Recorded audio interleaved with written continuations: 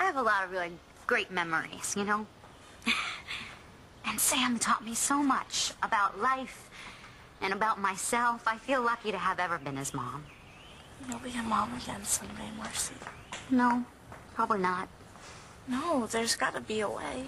No, I, I, I can't have kids of my own, and after everything I did to keep Sam, no adoption agency is ever going to let me have another kid. And, you know, I should have thought about that. I should have, before I ran away with him, but I didn't.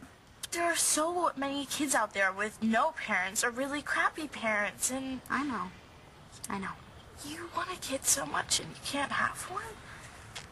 Starr, maybe we should just let this go. No, I don't. Yeah, it's just another thing that my dad screwed up, isn't it? Life happens. Starr.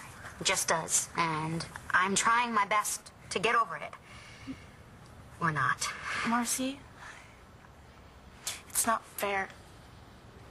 It's not fair at all because I know you. You were a great mother. When I would babysit Sam, I could see how you and Dr. McBain treated him. You were the best parents in the entire world. And you're an amazing teacher, and you just get kids the way I don't. I know you.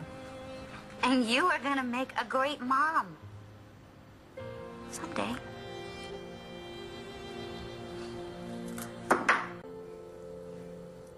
Starr, come on, don't be so hard on yourself. Cole, I'm being honest. I'm gonna be the mother from hell. Okay, because you couldn't fix one problem with Sam. You saw the way I was with him, okay? All he wanted to do was feed himself, and I was getting ready to slap him because he wouldn't stop crying. Honey, you're 16. Patience is something you develop over time. Well, I don't have time.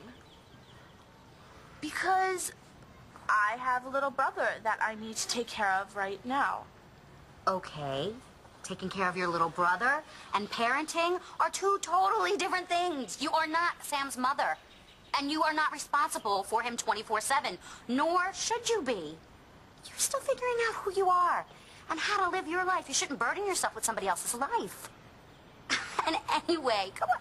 It's going to be a really long time before you have to deal with that. And trust me, by that time, it will feel a lot differently. Okay?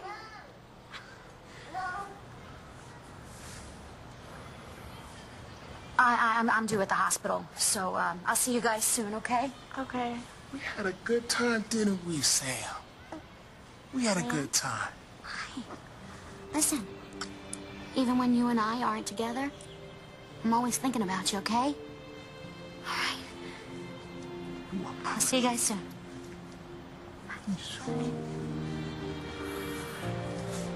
Starr, she's wrong. Okay, we are ready for this now. Okay, we, we can do this. We're, we're, we're gonna do great. Right, you, me, and our baby, we're gonna be just fine, okay? Maybe we should, we should go. Yeah, you're probably right. We should get going. You know, the little guy's gonna be an uncle soon. I hadn't thought of that one.